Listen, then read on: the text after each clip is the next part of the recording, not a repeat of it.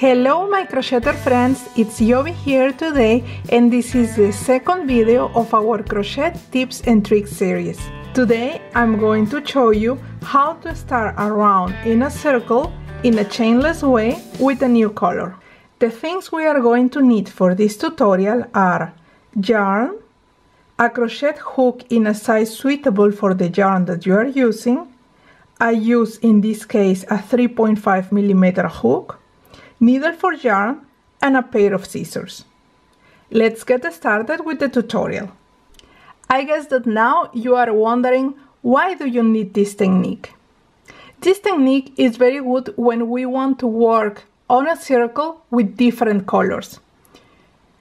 If we take as a reference this circle for instance, this is a circle made by double crochet.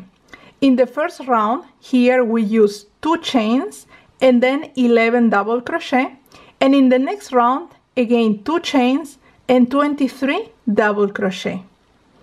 As you can see here the difference between the chain stitches and the other stitches is getting more visible and this is getting more and more evident whenever we add new rounds. In this case here we can see this is the chain stitch and the other stitches.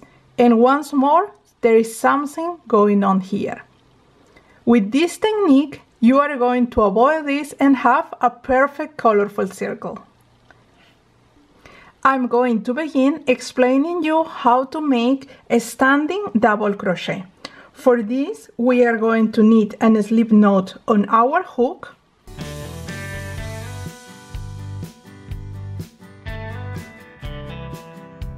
and I'm going to continue working on the circle that we have made in the previous tutorial.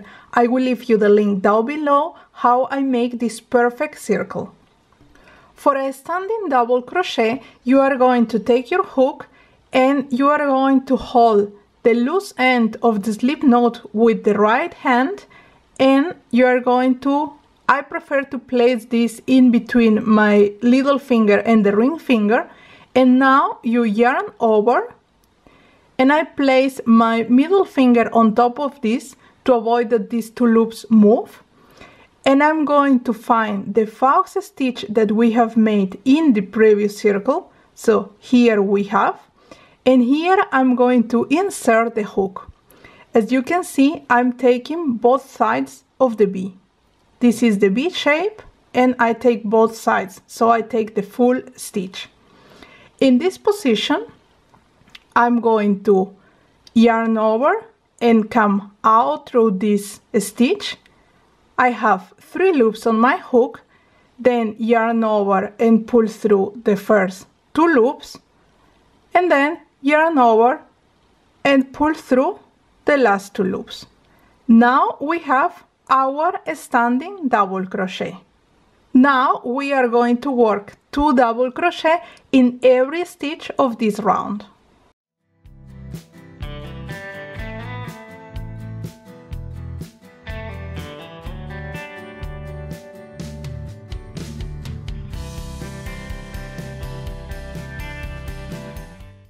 As you can see here, I have worked already the two double crochet in this stitch. And here in the next one, I found already the standing double crochet. Well, here I have to work a second double crochet so that every stitch has two double crochet in this round.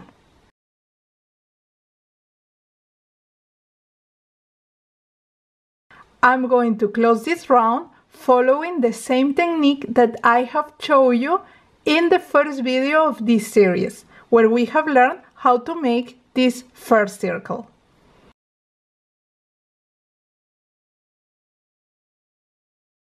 Now, with the help of a needle for yarn, I'm going to create another fox stitch. For this, I just twist a little bit the first stitch so the bump of my standing double crochet. Here I'm going to the twist to the back. And what I do is introduce the needle for yarn here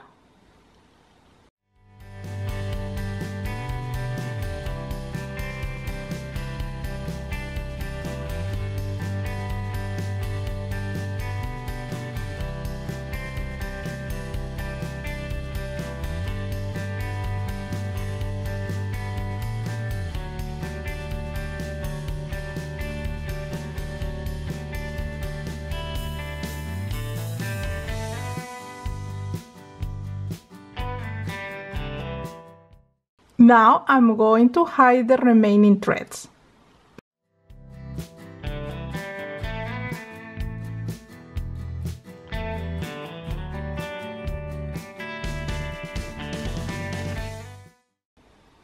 And voila, our second round is ready. Let's continue working on the third round. For the third round, we are going to continue working with a slip knot on our hook and standing stitch.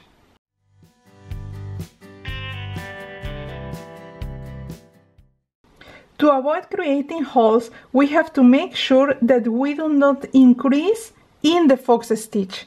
Now let's try to find where is the fox stitch. Can you do that?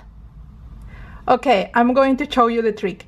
You just need to turn a little bit the circle and where you see the bump of our slip knot, so in this case it is here, this is the fox stitch. That's the way how you find out.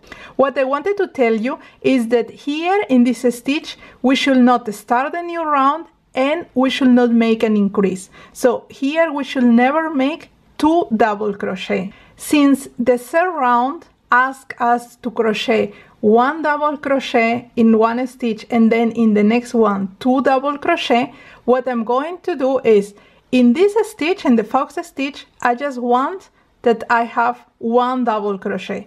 So in the previous one, I should have two double crochet and here I'm going to begin making one double crochet. Now we know in which stitch we are going to start to work this third round.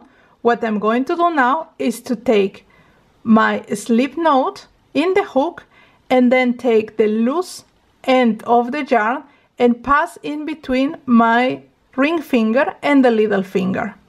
Then, as we have done before, we yarn over and place my middle finger on top of both loops, so I hold them, and now I'm going to introduce the hook through this stitch.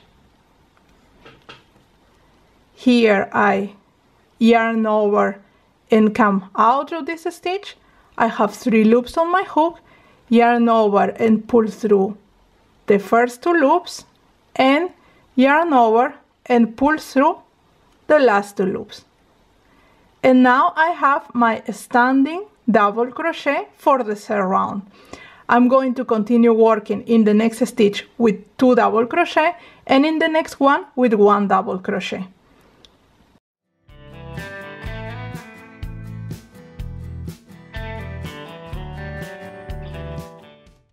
As you can see here, this was the fox stitch and here we just work one double crochet. We do not make an increment here.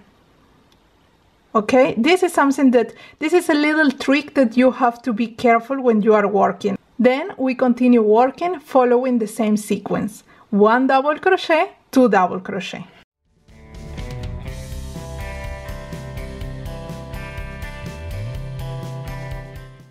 Now the third round is ready and as you can see here in the last stitch I have made two double crochet and here I encounter my first standing stitch. To close this round, I'm going to use the same technique that we used for closing the previous round.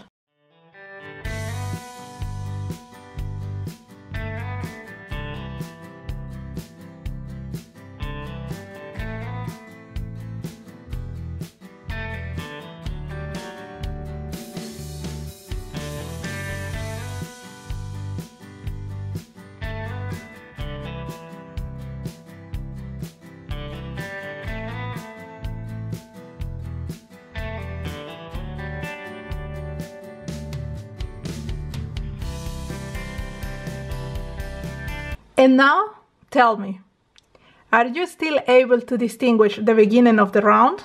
I just would like to show you so that you are able to compare. Here, the beginning of the round is evident.